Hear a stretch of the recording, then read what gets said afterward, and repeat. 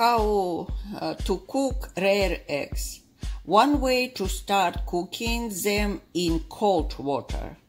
And after each boils, cook for no more than 3 minutes.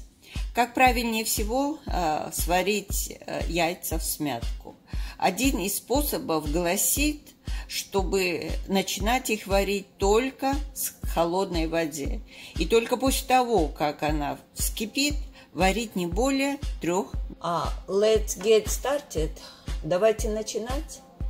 А, turn on the temperature to the maximum.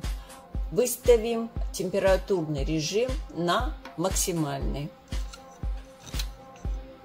Cover the pot with a lid. Прикроем крышкой нашу кастрюльку. And waiting for boiling.